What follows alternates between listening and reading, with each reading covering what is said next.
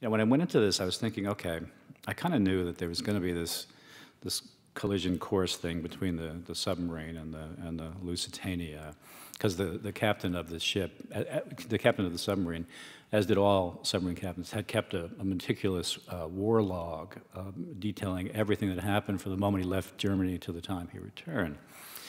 So I, I, knew all of all of that, um, and and it made an you know an obvious narrative thing to have the Lusitania and the submarine converging. But in the course of researching uh, this, I, I, came across all this in interesting information about Schwieger. I mean, I wanted him to be this classic villain. You know, that's going into it. I wanted him to, you know, okay, I would love a monocle, you know. you know, I, I'd, love a, I'd love a monocle like a scar, you know, that kind of thing.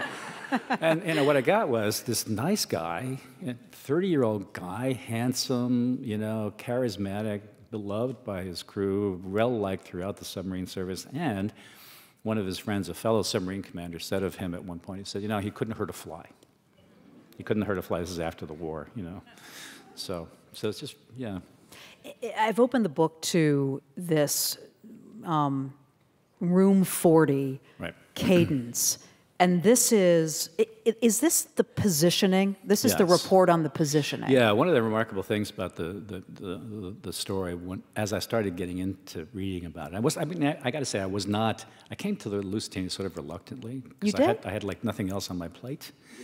But I had this, this, this maritime tick, you know, and, and I, I was just interested in the Lusitania. And I, I don't know, I started reading about it and I started getting more and then I did my first like exploratory archival trip, and that's what really sort of cemented it. But, but one of the things that really surprised me was the, the role of this super secret uh, uh, operation within the Admiralty called Room 40.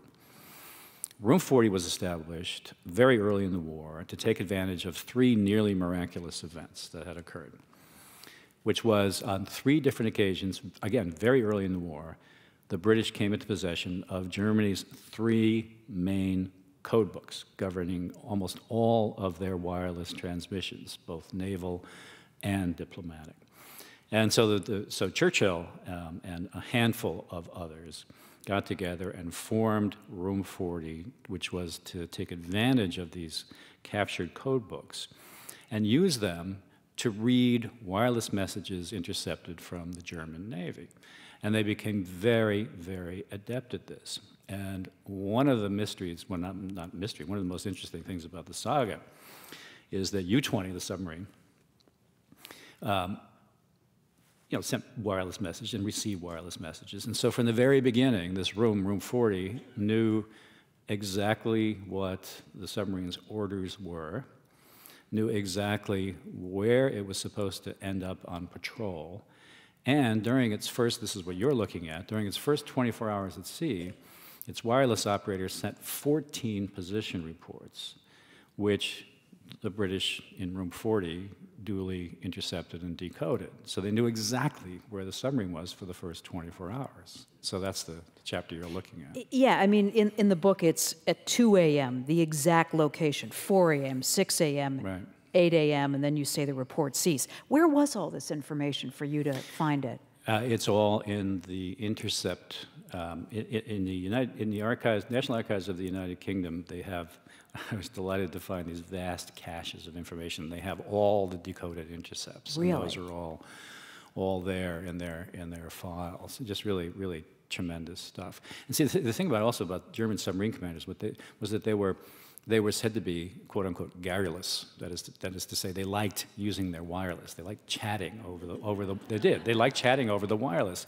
And partly, I, I mean, I have, to, I have to think that part of it might, might be because they knew that ultimately they were going to be dealing with this, this, uh, this, this, this amazing loneliness. And so it was kind of comforting to be able to send.